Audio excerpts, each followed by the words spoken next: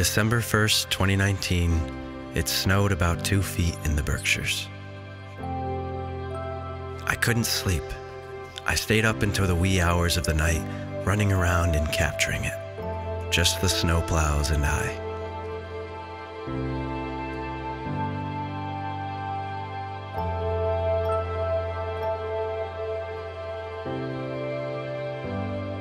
Winter had arrived stronger than ever, and hunker down season had officially begun.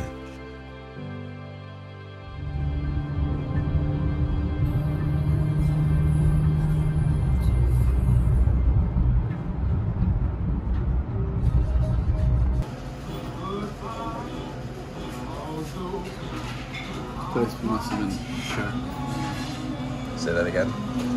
Must have been so And on one cold and icy morning in early December, Mason and I woke up with the sun. We wanted to see our hills in their new white blanket.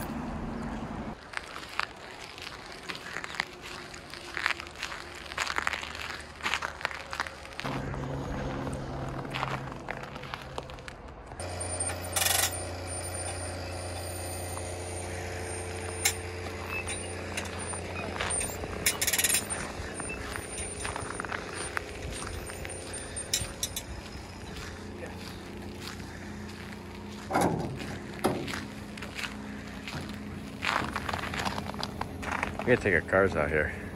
Huh? Oh, you can't. I gotta. Let's fill the Audi up with this stuff. dude, we should. We should. Can we? Yeah? It'll drive like it never has.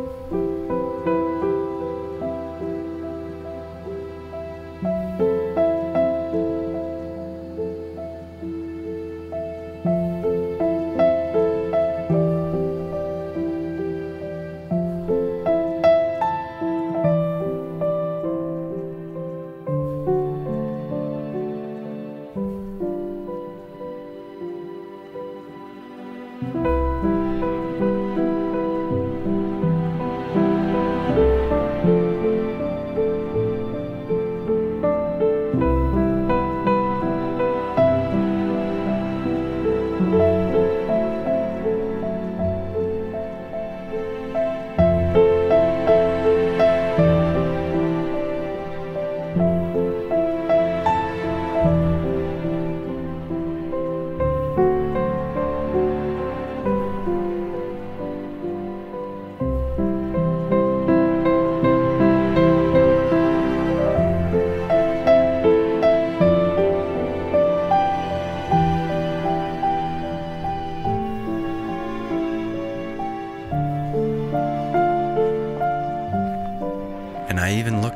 house that was for sale on the main street in Ashfield.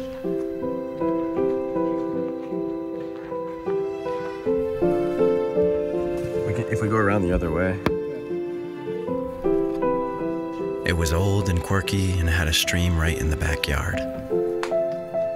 What's that? Just like a 10 foot hole. Yeah, right. And the weirdest part was the only thing left on the wall in the whole house was an autumn shot of the mountain I grew up next to.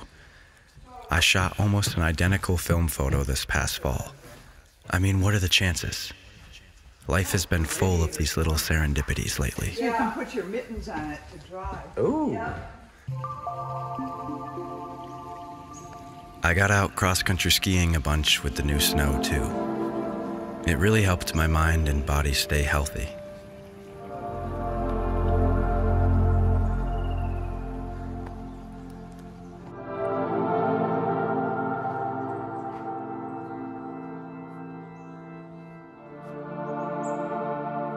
And Noah and I got tons of work done this December.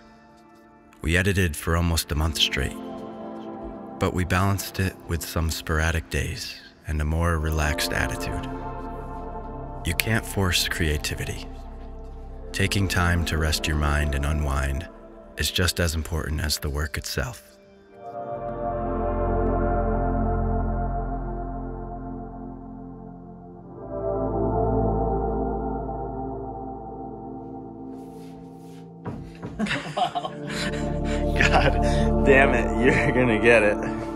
Wall. This one's the real culprit. That's true.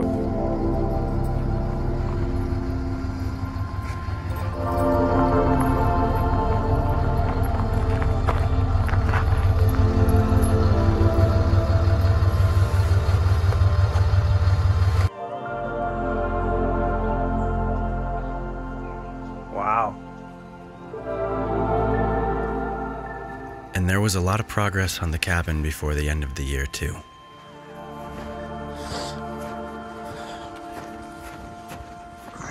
Little by little, the dream is coming to life.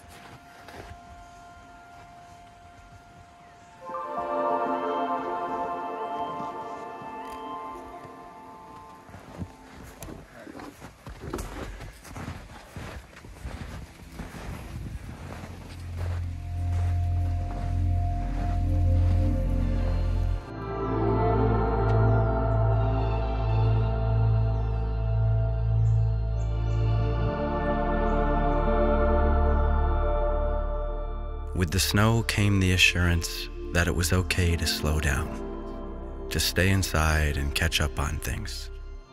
You don't feel like you're missing out when it's freezing outside.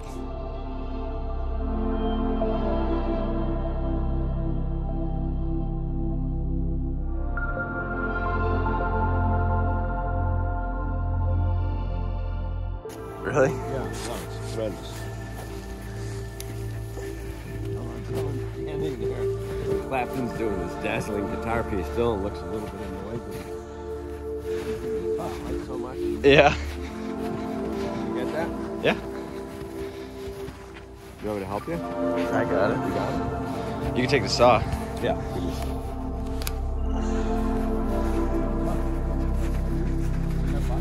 Yeah, I guess so. I don't remember. The United States, right? Definitely. I got the truck undercoated before the snow to protect it from the elements so I could drive it on the shoulder seasons. And my dad and I took it to get our Christmas tree. It felt like we were living in a Norman Rockwell painting. Yeah, it's warm in there. Really nice. Yeah.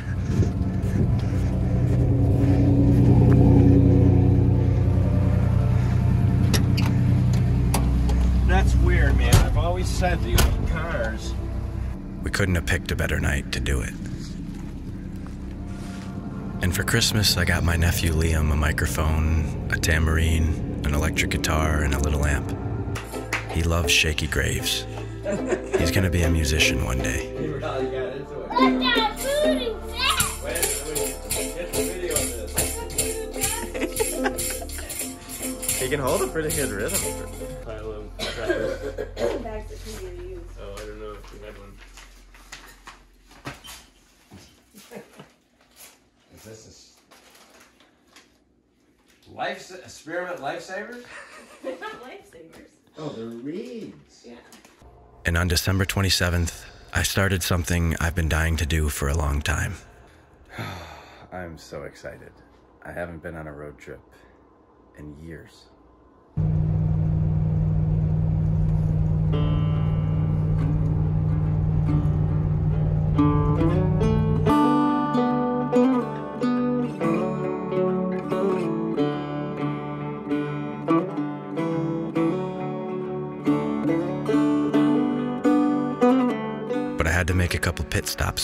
Was officially on the road.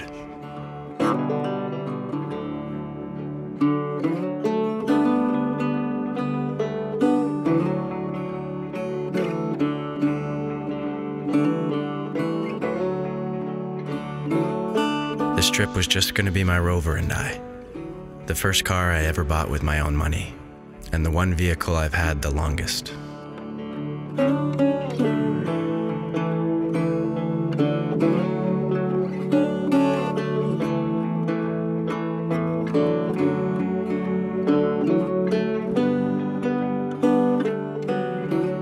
Said bye to Hooter and my mom and dad and made one last trek up to the cabin to say bye to Mason and Yolani.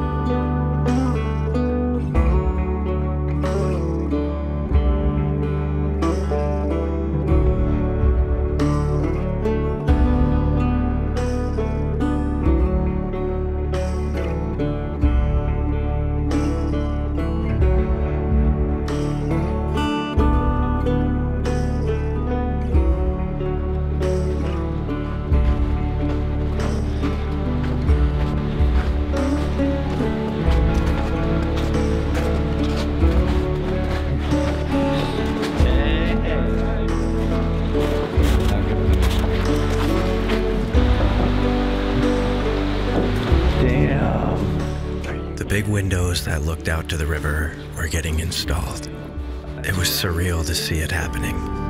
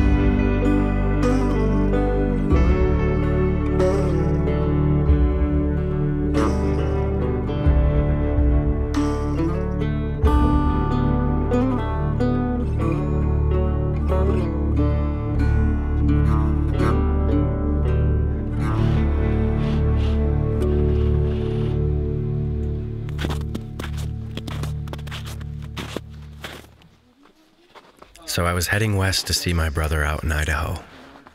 I was going to catch up and do some skiing and get away from work for a while. My plan was to be gone about 10 days total. Leave December 27th and be back early January. Just wait till you see how that played out.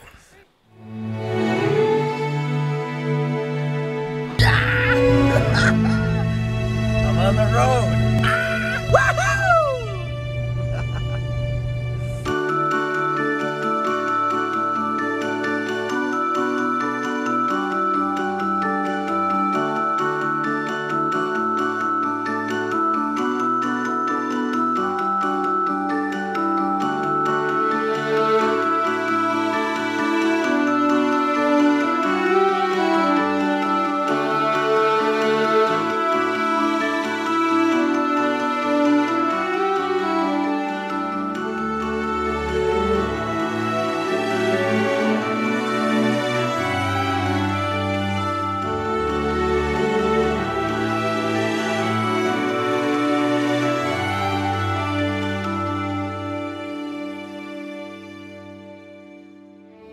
The open road, my favorite feeling in the world.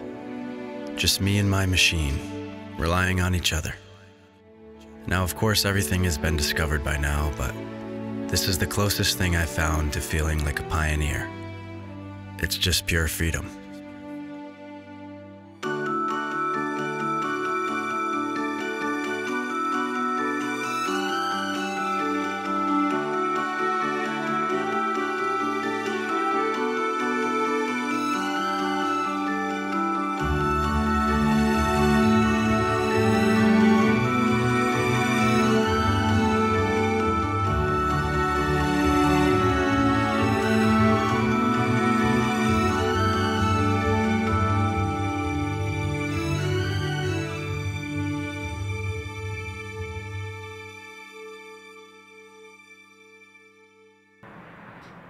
One of my favorite things to do on the road is stay at cheap old motels. It reminds me of 2013 when Simon and I drove across the country for the first time. We had little money and we were frugal, and we just made do with what we could afford. Turns out you end up meeting the greatest characters and having the most unforgettable memories when you travel that way. Hitting the cheap local spots, Studying the nooks and crannies of real America, it's fascinating. It opens your mind to the fact that we all live in our own little bubble, no matter how cultured we are. A lot has changed for me since those days. I built a solid career for myself and don't need to worry about money as much. But in order to get there, I had to dedicate most of my time to my work. I was living the dream in most people's eyes, but what was missing was the freedom, the spontaneity.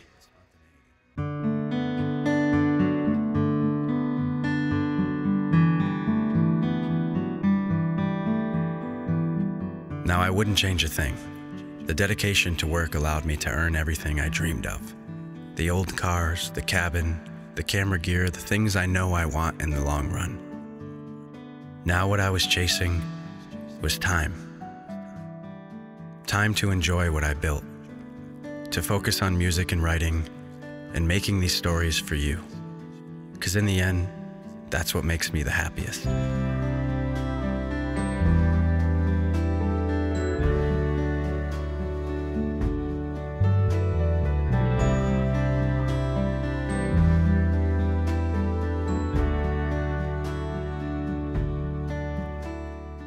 I know it sounds simple just stop working as much. But it's not that easy. The truth is, you have to keep the lights on. And when you build a life based around a certain income level, you kind of trap yourself.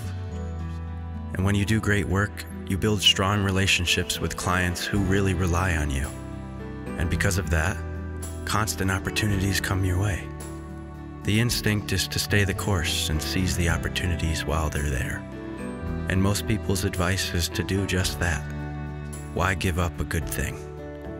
So the whole ride west, I was chewing this over, trying to figure out how to ease out of it all and take more time for my personal art. It meant that I would make a lot less money, but that I would be completely free. And in the end, I would do what my gut has been telling me to do all along.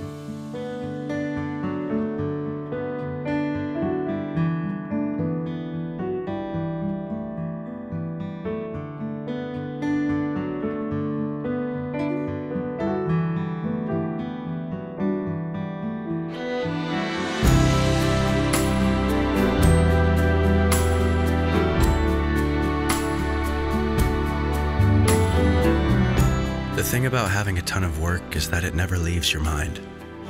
All these open projects, the nonstop calls and emails and revisions, even if you take a day off, you can't truly escape. The dream job of being your own boss ends up being a catch 22. And that's not to say there isn't a way to make it all work. It just comes back to balance, which is easier said than done. And I'm not complaining to you.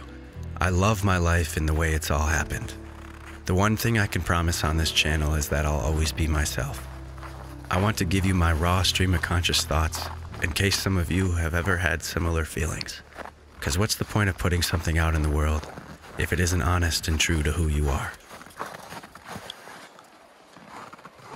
So, after a few days of Alan Watts lectures and self reflection, here I was, hours from Idaho.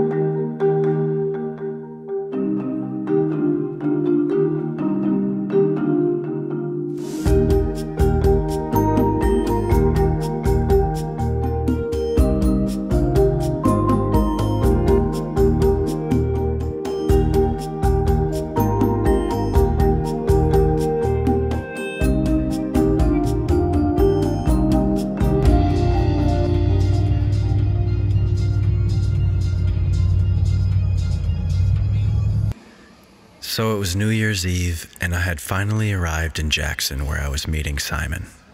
Just in time, too.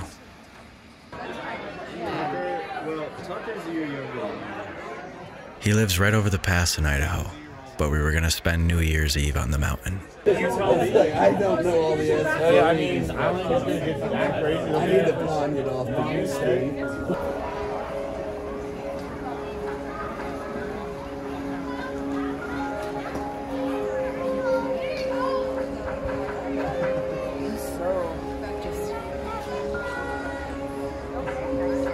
was a magical energy in the air. That old New Year's optimism and excitement.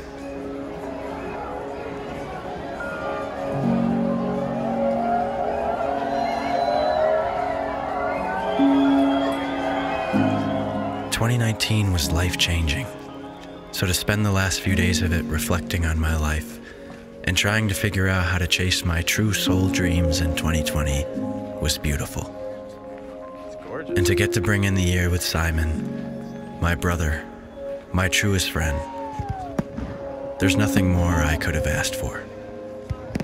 To end the year with a full heart, there in the Wild West, with nothing but freedom on my mind, I was already one step closer.